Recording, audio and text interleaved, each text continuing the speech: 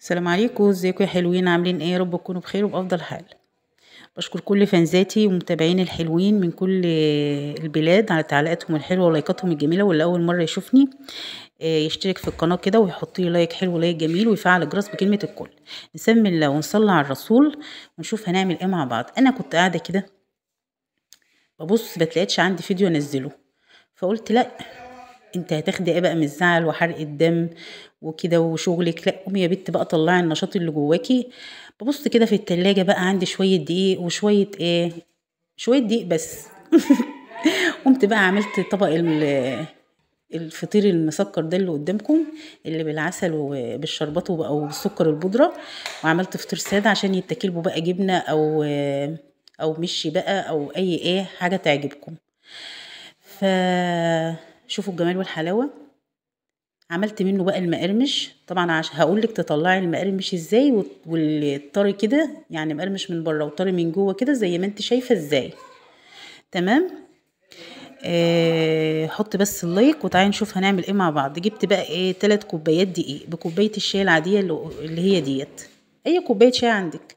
تلات كوبايات دقيق انخليهم في طبق وعليهم رشة ملح ومعلقة صغيرة سكر شوفوا الو- لحد هنا تمام ومعلقه كبيرة سمنة أي سمنة عندك بلدي تانية وتبسي بقى معلقة السمنة بالدقيق بإيدك كده تبسها أول.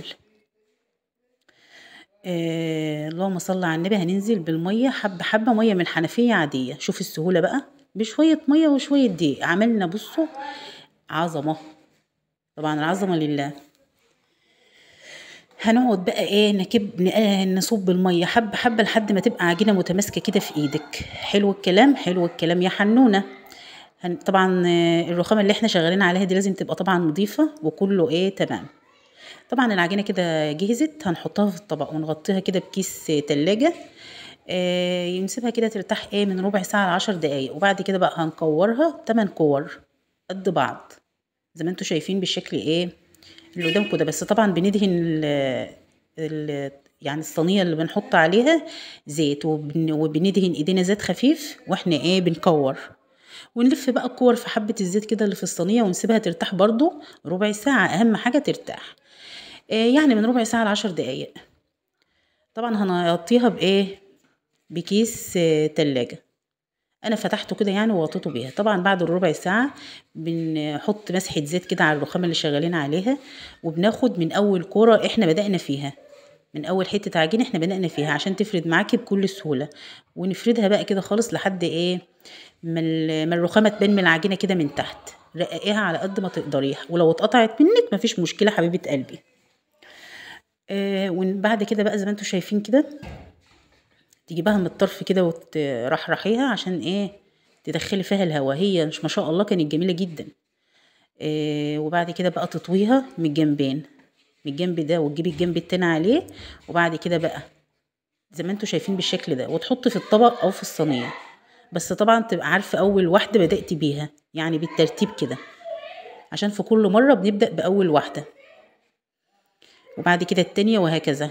طبعا أنا قلت مع أعمل معاكم واحدة كمان عشان إيه, إيه يعني اللي ما ما تبقاش يعني من أول مرة. بعد ما تفرديها خالص كده وتبقى شفافه تجيبها من بره وترفعها كده وترحرحيها تاخد وتدي معاكي إيه زي الملبن. لو وصلت معايا لحد هنا بقى يا حبيبتي حطي like حلو كده like جميل. طبعا أنا كنت قاعدة بقى مكسلة كده و...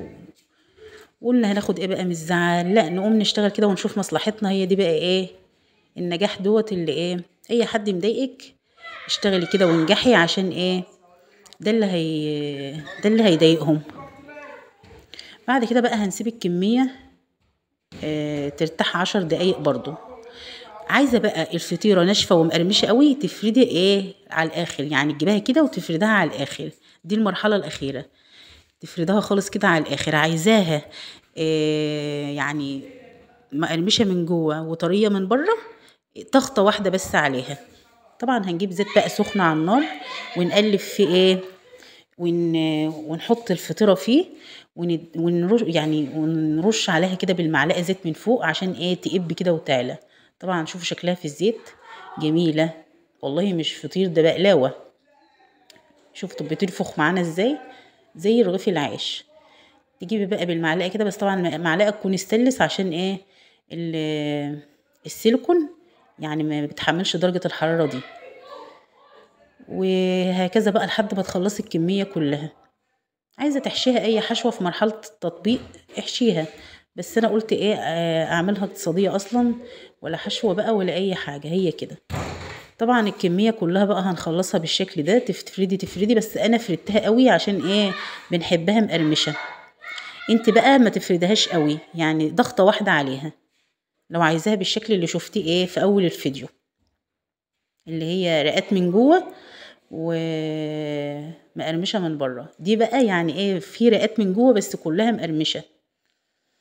اللي هي بالشكل اللي أنتوا شايفينه ده. حطيت بقى بالعسل وبالسكر ولو عجبكم الفيديو بقى ما تنسوش حنونا في اللايك وقولوا لي عجبتكم ولا لأ. وطبعا كنت باكلها بقى بالجبنة كده القديمة. وده السادة وده المسكر. طبعا ده اللي مفرود قوي قوي. ودي بقى اللي أنا ضغطت عليها ضغطة واحدة في المرحلة الأخيرة. بعد ما تطويها وتسيبها ترتاح تضغطي ضغطة واحدة قبل التحمير. بتبقى بقى إيه؟ طبقاتها طرية كده من جوه ومقرمشة من بره. شوفوا الجمال. ولو عجبكم الفيديو ما تنسوش ال like وأشوفكم في فيديو جديد إن شاء الله. و bye bye.